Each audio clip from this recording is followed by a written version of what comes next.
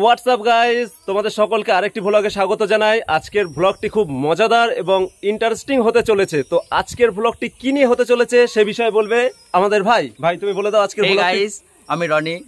আর আজকের ভ্লগটি খুবই একটা অসাধারণ ফিল দিতে চলেছে তোমাদের। তো আজকের ভ্লগটি হচ্ছে আমার ভাগ্নি তার জন্মদিন স্পেশাল ভ্লগ আর আমরা কোথায় রয়েছি বলে দাও একটু। তো আমরা আছি পাশে আছে বিভূতিভূষণ অভয়ারণ্য এই পাশে আছে নীলকুঠি। মধ্যেখানে সুন্দর ইচ্ছামতি নদী বয়ে গেছে।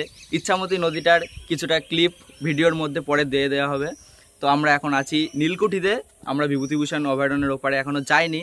তো কিছুক্ষণের মধ্যেই আমার ভাগ্নি আরুষি, যার আজকে পার্থ ডে সেলিব্রেট হিসাবে ব্লগটি করা হচ্ছে, সে একটুখানি পরেই চলে আসবে এখানে। তারপর প্রচুর মজা আরও বিভিন্ন কিছু অনেক রকম অনেক রকম আনন্দ হবে ফটোগ্রাফি হবে অনেক সিনেমাটোগ্রাফি হবে এখানে অনেক অনেক আনন্দ করব। সমস্তটা তোমাদেরকে দেখাবো যে কীভাবে শ্যুটগুলো নেওয়া হচ্ছে ভ্যাকসিনে কি হচ্ছে আমরা সেগুলো দেখানোর চেষ্টা করব। আশা করি তোমাদের খুব ভালো লাগবে। তাহলে সাথে থাকো দেখতে থাকো আর আমাদের মধ্যে আর কিছুক্ষণের মধ্যেই উপস্থিত হতে চলেছে কে? বার্থডে সেলিব্রিটি গার্ল আর রশি।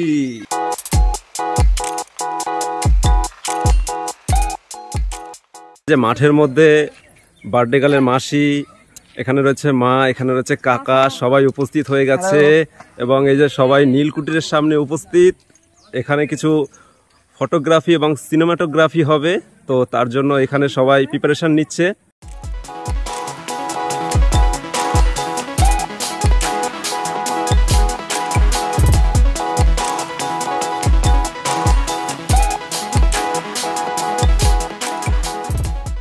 তারপর এখানে আমাদের ক্যামেরাম্যান দাদা কিছু ফটোগ্রাফির জন্য স্ট্যান্ডিং স্টাইল দেখাচ্ছিল এবং ঠিক সেই মতো করে হুবহু কিন্তু আমাদের বার্থডে গাল আরশি সেটাকে নকল করছিল এবং সত্যি তাদের সাথে খুব সুন্দরভাবে কোঅপারেট করছিল।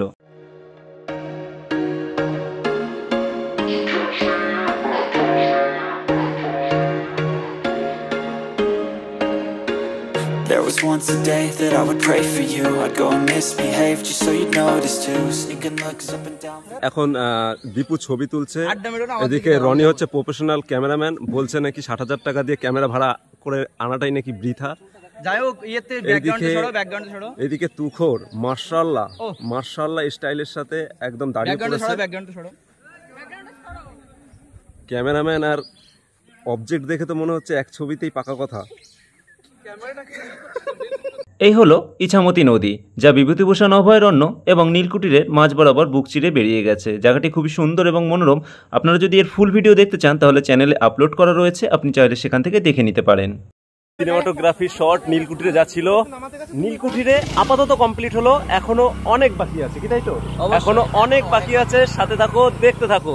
এটি হলো প্রবেশপথ যা বেলুন দিয়ে খুব সুন্দর করে সাজানো হয়েছে এবং আপনারা দেখতে পাচ্ছেন যে ভেতরে কত সুন্দর লাইটিং এবং সুন্দরভাবে ডেকোরেশন করা হয়েছে, যেখানে হ্যাপি বার্থডে যে প্রেজেন্টেশনটা সেখানে কিন্তু খুব দুর্দান্তভাবে করা হয়েছে। আর এখনই কিন্তু শুরু হতে চলেছে সেই বিশেষ মুহূর্ত।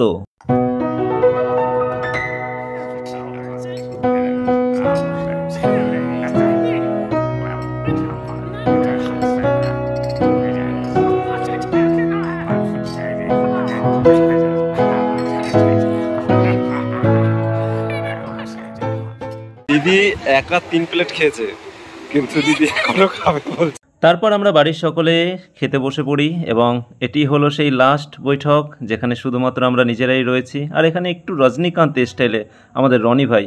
ও কি স্টাইল আজকের মিনি ভ্লগ এখানেই শেষ করছি, ভালো থাকবেন, নমস্কার।